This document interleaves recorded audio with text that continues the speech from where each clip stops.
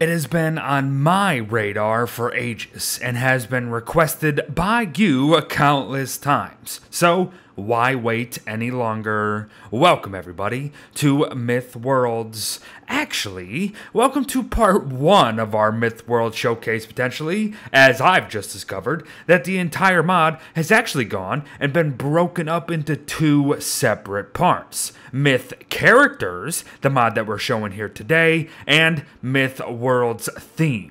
But both boast a wonderful set of seven individuals responsible for the mod, and both certainly deliver on a grand scale by themselves. From incredible additional art assets to truly unique takes on survivors themselves. Let us talk the Myth Characters mod. And our first character for the day is none other than the Monkey King of Flower Fruit Mountain. As far as his stats go, expect normal across the board. And note that while every character shown here today has them, the skins they provide need to be unlocked via gameplay before they can be used. There are some pretty darn neat ones though, so go get them. Now, with five separate characters to cover in one video, anticipate me going fast through the perks. But speaking of, the Monkey King himself is just ever so slightly faster overall while running about the constant. So use that to your advantage. Also be sure to make use of your golden eyes. Clicking on the face of the Monkey King in the top right will activate his golden eyes ability aka his night vision. You can turn it on or off at will, and it is permanent. However, using the ability drastically drains both your hunger and sanity, mind you.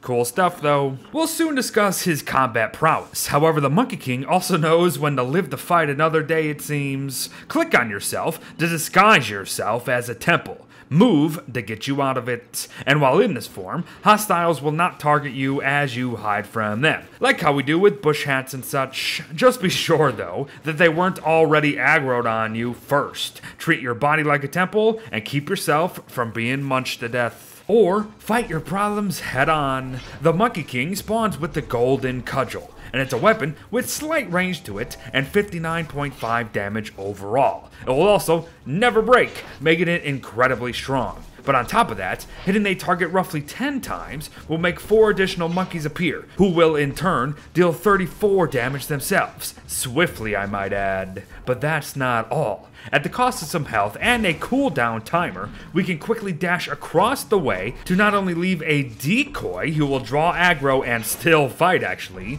but be able to get right back into the fight ourselves. Really, really cool. Ever so slight issue though. While the golden cudgel is really all you need regardless, if you happen to lose it somehow, you're screwed. Because all other weapons have a 50% chance to slip out of your hands with each hit, which is a big oof. But on top of that, you can't craft another one. But another unique thing about this weapon is that it can actually never slip from your grip, even if you're hit by Bearger himself. Very nice. What's not so nice is the Monkey King's backstory. For you see, his home burned down, and he blames himself for not doing enough to save it. So burning trees and plants and such negatively impacts his sanity. And the more that's burning on screen at once, the worse it's gonna get. Very sad. Couple last notes here. He spawns with several peaches, and fruit happens to be a favorite food of his, more specifically, a peach banquet. This is but one of the many Myth World recipes. However, I, for one, could not actually figure out how to make the dang thing for the life of me.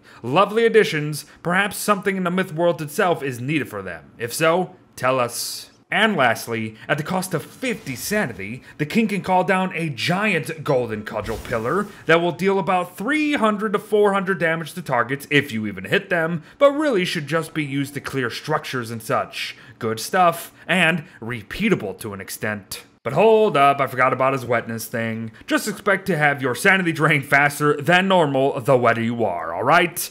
Alright. One down, four to go. And Nessa, the legendary warrior, is up next. Once more, you will find her stats to be tame, and honestly, being that she's a warrior and all, you're gonna also find that she's far more straightforward than the rest of them. Only she can use the Fire Tip Lance, and with it, she will deal 51 damage a hit, with no worry of durability once again. And like the Monkey King, she too has a special ability with her weapon equipped the Dive Bomb. She will leap into the air and come crashing down three separate times for 70 damage each, so look out below. She also spawns with the Universal Ring an awesome boomerang of sorts. It has incredible range, deals 34 damage a hit, and bounces between multiple targets each throw.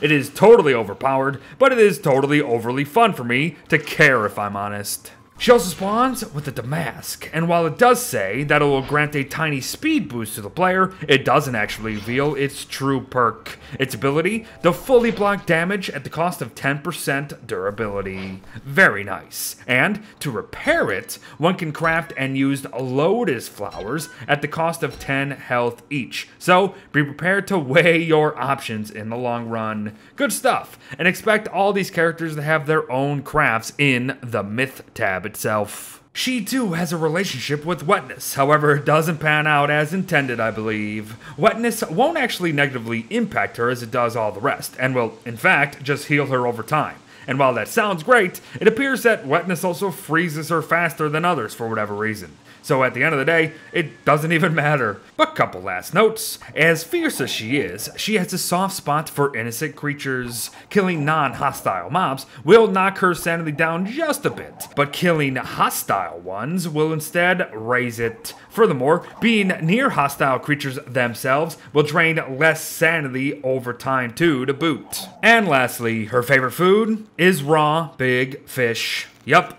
Moving on to easily my favorite of the bunch, as well as one of my newest favorites overall, Whitebone.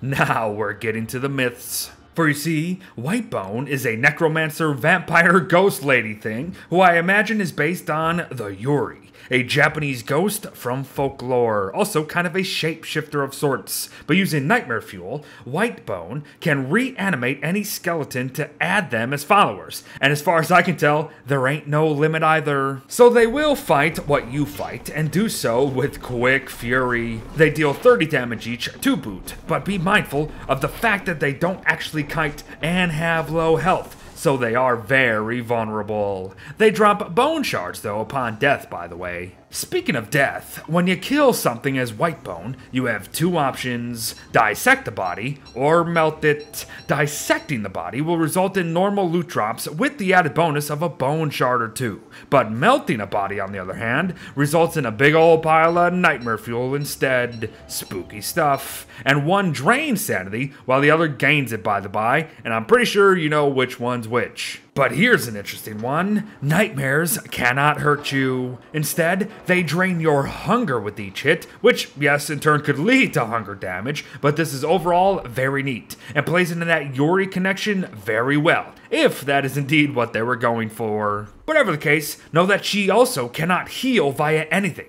that is supposed to be applied to the skin in order to heal. So glands, salves, and poultice are off the table. But let's say you do die, however. Whitebone can only use other skeletons to revive themselves. So touchstones, life-giving amulets, and even the portal are also not an option. And I'm really liking these themed constraints we got going on here. Oh, she will also spawn at full stats too, which is quite the sight. But like the Monkey King, she too has a hiding technique. Click on yourself to call forth fog in a wide area that will not only grant you a bit of speed boost, it will hide you from hostiles that enter it. Again, the key is that mobs cannot already be targeting you, but if you know that they're coming, then fog it up. Also know that while it may last a good length of time, it's actually not permanent. Yup, definitely a Yurei of sorts, folks. Whitebone has two forms her monster form here, and then her lady form that comes from clicking her face at the top right. While in monster form, she cannot wear armor or headgear, and will be treated as a monster by pigmen and such. So then, why the heck do we not just stay a lady? Well, it's because as soon as you enter combat or get hungry, you are right back to being a monster. Very cool and very fitting. I am liking Whitebone more and more. And it just keeps getting better too. Whitebone can eat both Nightmare Fuel for 25 hunger and Telltale Hearts for 60 hunger, plus 50 health on top of that. In fact, Telltale Hearts are actually her favorite food, which is kind of hilarious. On top of all that, she enjoys raw big meat to boot, but only raw big meat gets the bonus, at least for now. But check this out. If she were to eat the incredibly rare Shadow Atrium, aka the Black Heart, gotten solely via the Shadow Pieces boss fight, she would not only gain 50 hunger, but her damage across the board would increase significantly. Very, very cool. But finally, her own witchcrafting tab. In it, she can make her own skeletons, that in turn can be further reanimated with nightmare fuel, as we know. So, just keep the cycle of death and rebirth going, I guess. We can also craft a witch heart with shards, glands, and a chunk of our own health in order for us to then maybe consume the heart, which in turn instantly kills us. Yup, that's a thing, I guess. Does anybody know if there's more to this thing? The Bone Sword is essentially a dark sword without magic, with less durability, which actually is not a bad thing. The Bone Whip heals with each hit and allows us to keep our distance, all the while hitting so hard at times that loot actually drops off mobs, even if they didn't die, which is pretty neat. And finally, the Bone Wand simply allows us to trap mobs in bone cages. Good stuff. 啊。Pigsy's turn, and it will be another short one at that. Do note that insane health and hunger, though, those are going to be important in a minute. Pigsy may be described as lazy and tanky, but he sure does love himself some farming regardless. He spawns in with his trusty rake, and with it, he is able to till tiny farm plots wherever he chooses. And yes, one could then plant seeds. And note that not only does he gain sanity from fertilizing plants and crops, he harvests them faster than most. That's not all the rake has to offer either. Right click and Pigsy will block incoming attacks with ease, just as long as you're facing the proper direction, of course. It doesn't last long, but it's a neat mechanic at the end of the day. Now, while Pigsy is definitely the tank of the group, he is only at his tankiest while at full hunger. The higher his hunger, the bigger he gets, and the bigger he gets, the more defensive he is. Easy peasy there. And add to the fact that he can also draw the most aggro from hostiles, then we truly do have ourselves a proper tank character. But death does carry a heavy price. Like Whitebone, Pigsy can only revive via a specific thing or structure it being pig houses. In doing so, though, you not only completely destroy the house, you spawn with incredibly low stats overall. So, just don't die, you numpties. Few last notes already. The hungrier Pigsy is, the weaker he is, so mind that stomach. The fat man himself offers more gold per tribute, however it's not for every trade, which I think is a good touch. At the cost of three grass, Pigsy can craft and instantly use a portable sleeping bag of sorts for a little snooze now and then, which will benefit him just like a tent would. And finally, his favorite food is watermelon. And while the mod does say that he's not a picky eater, he still gains less benefit from meats, so be mindful there. And lastly, Three Eyes. Unfortunately, one of the weakest showings in my opinion, yet somehow all the while providing some of the best, most unique mechanics overall. At the end of the day, most everything about them has to do with the skies, most notably the lightning that comes from them. Their fork spear deals 51 damage, and every 6 hits will result in lightning striking your target for some decent damage. But like others who came before them, they too have a special blitz-like ability, in which charges them up for more damage dealing, as well as debuffs the target, which in turn makes them take 10% more damage overall overall.